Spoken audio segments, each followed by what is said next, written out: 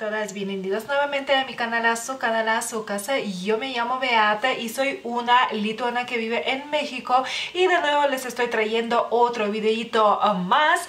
El día de hoy quiero que aprendan conmigo los colores en lituano, así que si les interesa el tema, pues quédense a ver este video.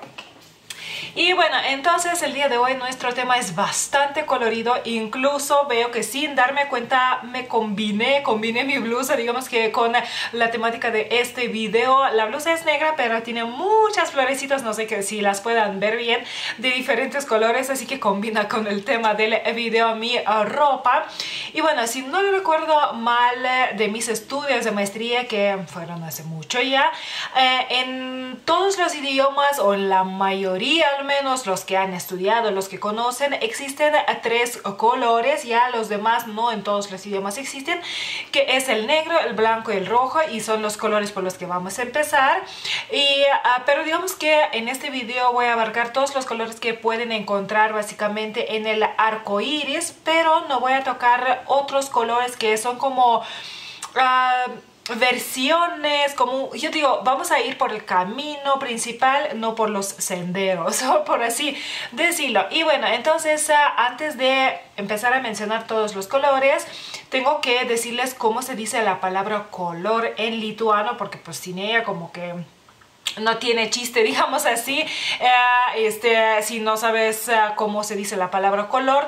Y eh, el lituano color es spalva y a diferencia de la palabra en español, spalva es en femenino y color es en masculino en, en español. Por eso cuando dicen ustedes en español los colores, los dicen en forma masculina, por ejemplo, negro, este, no sé, rojo, etcétera, etcétera. Y en lituano, cuando simplemente decimos la palabra, o sea, el color, digamos así, lo decimos en forma, este, en femenino, digamos así, porque simplemente la palabra color es en femenino. Para que lo sepan, entonces los colores ah, se los estaré mencionando aquí en, en femenino, en lituano, pero sí tienen su forma en masculino también.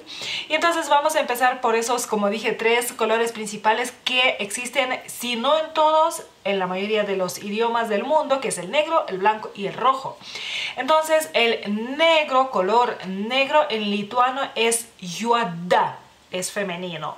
No lo olviden, juada. Se lo estaré dejando obviamente por escrito en la pantalla para que no solamente me escuchen, sino que sepan cómo se escribe la palabra. Luego, blanco, balta, balta, es en femenino. Rojo, rodona, Rodona, también en femenino, creo que ya no voy a estarlo repitiendo. Luego el siguiente color es del arco iris, digamos así, porque ya pasamos los tres principales. Es azul, azul en español digamos que es femenino y masculino al mismo tiempo, pero en lituano sería en femenino melina, melina. El siguiente color que sea naranja, naranja en lituano es orangine. Orangine. Es como orange en inglés. Básicamente viene de... Bueno, no sé si venga de esa palabra, pero es la misma palabra. Se escribe de otra forma, pero creo que al escucharla en lituano sí entenderían que se trata del color naranja. Luego que sea amarillo. En lituano es geltona. Geltona. Luego que siga color verde. Jala. Jala.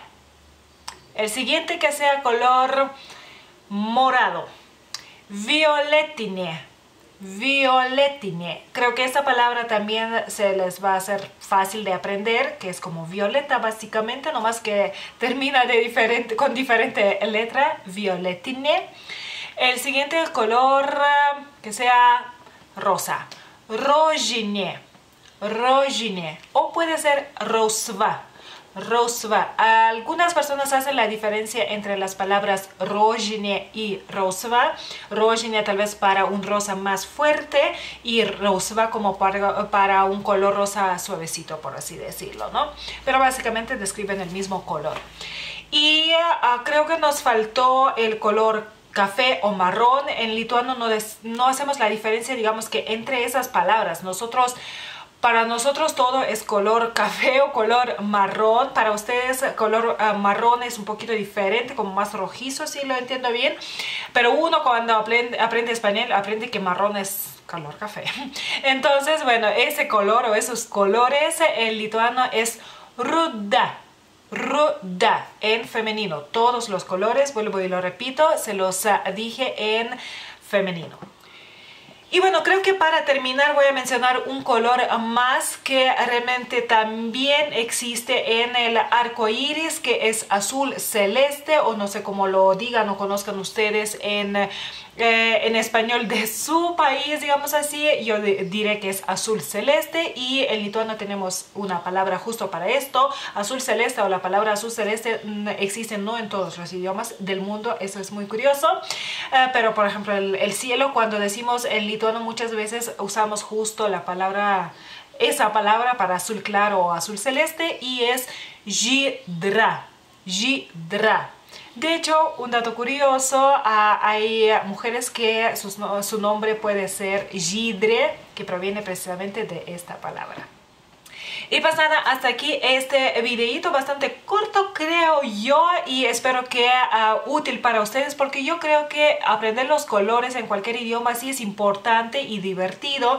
¿Por qué importante? Porque es bueno aprender las palabras como carro, casa, vestidos, zapato, zapatos, etcétera, pero muchas veces queremos escribirlos y los colores eh, son una de las maneras de describir las cosas, ¿no? Queremos decir que el carro es azul, que el vestido es verde, que la casa es blanco, los zapatos son negros, así que los colores sí nos sirven bastante, así que yo espero que aprendan estas palabras en lituano.